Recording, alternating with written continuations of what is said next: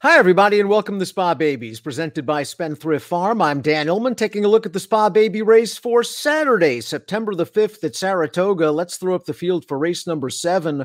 We're going to kick off the uh, jackpot pick six with this maiden special weight, a mile and a 16th on the inner turf for two year olds. It is an overflow field, Spendthrift Super Stallion into mischief, represented by one of the two main track only horses in the race, the number 11. 11 Demon. There are some really nice pedigrees in here, a couple of horses that have started already, some expensive purchases, and some top barns. You really can't ask for anything more on a Woodward and Jim Dandy Saturday at the spa. Let's take a look at the field, beginning with the number one restored order. This horse has experience. two sprint starts for trainer Todd Pletcher. He is a son of first crop stallion Frosted. The jury's still out as to how the Frosteds will do on the turf. Restored order has plenty of pedigree and an active pedigree it is. Not only is restored order a half sibling to the graded stakes placed router Derlu, the stakes placed sprinter Smartly Agree, but this dam is a half to Vexatious, who just won the personal ensign on dirt at Saratoga and will be taking on Monomoy Girl in the La on Saturday at Churchill Downs. This horse certainly has a distance oriented pedigree, has a little bit of speed. The inside post for Todd Pletcher should work out a good trip under Irad Ortiz. The number two is Fulco. This is a son of War Front with a beautiful turf pedigree. The dam stakes placed on the lawn in France. The third dam Wandering Star won the EP Taylor at Woodbine. This horse sprinted first time out for Shug McGaughey. Shug often gives these two year olds a starter too.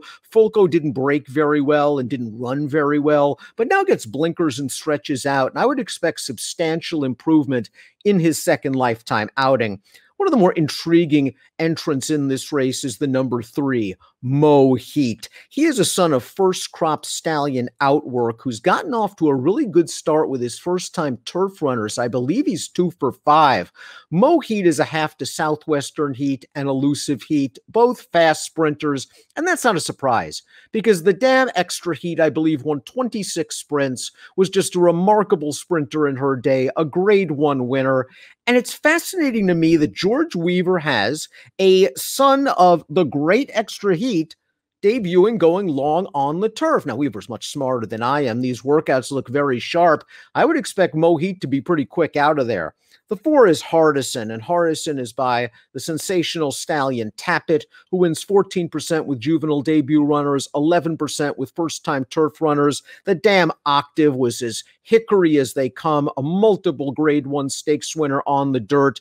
And while there is dirt pedigree, Tapit over octave, octave has foaled a group two stakes place turf sprinter overseas. So there's a little bit of turf as well. I do wonder if Bill Mott is debuting this horse because he knows that Hardison wants distance. And really, the only way to get distance into your two year old first time starters at Saratoga is to run them on the turf. I'll take a wait and see approach. The number five is World Cruiser going out for Christophe Clement, a $150,000 yearling buyback by the by the solid 9% stallion hard spun. The dam's a half to promising run. It was a multiple grade two stakes winner on the turf. The second dam was a grade one stakes winner in Brazil. This horse has a solid pedigree. Clement's having a phenomenal year. And I think the board is really going to tell the story. Dylan Davis takes the mount. American Diamond is the number six by Triple Crown winner American Pharoah, who also won the Breeders' Cup Classic. And as we take a look at American Diamond, Diamond's entry card, American Pharoah has done very, very well with his turf runners. And this dam has already thrown stakes place turf router Fleming. This is the family of the Saratoga legend, the Sultan of Saratoga, Fourstardave, and Fourstars Allstar, who I believe was the first North American trained horse to win a classic race overseas when he won the Irish 2000 Guineas. It's a phenomenal pedigree. Mark Casse trains. This horse seems to be picking it up on the work tab recently. The number seven is Sifting Sands, and we urge you to take a look at Mike Welsch's workout report for all Saratoga races, but especially these two year olds. It looks as if Sifting Sands has been working in company with another Chad Brown train runner named Public Sector, who won his debut the other day with a 76 Beyer speed figure. Sifting Sands sold for $645,000 overseas as a yearling, and why not? Being a half to Legatissimo, a multiple Group One stakes winner over there. The dam's a full sister to Fame and Glory, a multiple Group One stakes winner. This is just a tremendous turf family. The sire Dubawi is an internationally renowned stallion. Sifting Sands should run well. If you believe in experience, Lease has two turns experience on the turf, and Bill Mott's horses really seem to improve after a race or two. Lease did run great in his debut, but he also didn't break very well.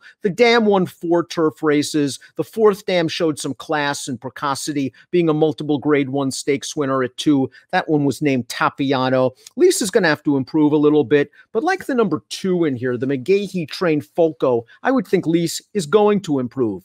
The horse they're all going to have to beat is the number nine, Hidden Enemy, a son of the absolutely legendary stallion Galileo, a $150,000 yearling. The dam was a grade one stakes winner routing on synthetic at Keeneland and is a half to Festival of Light who got really, really good going long in Dubai.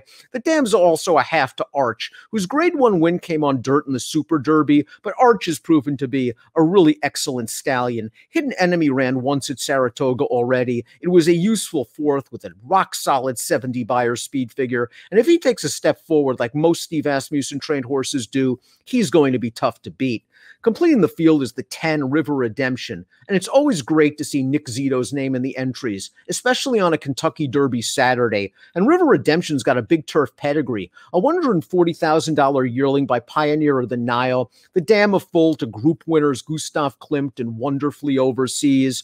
River Redemption, few gaps in the work tab to be cautious of. Outside post position, Nick usually doesn't win first time out. Here's a formulator fact to take with several grains of salt because River Redemption is going to be a good price. One for 23 for Zito over the past five years with two year olds on turf. We take a look at my top selections in this race. I respect the nine hidden enemy. I think the seven Sifting Sands is going to be ready first time out for Chad Brown. These works look strong. Again, I urge you to check out Mike Welsch's Clocker Report and see what he has to say. But I'm going to go with Sifting Sands, the number seven, over the experienced runner, the number nine, Hidden Enemy. Maybe Mo Heat, the extra heat baby, can show some speed and hang on for a piece. 7 9 3 10 for me. In the Spa Baby race on Saturday, it's race number seven, and our coverage is presented by Spendthrift Farm.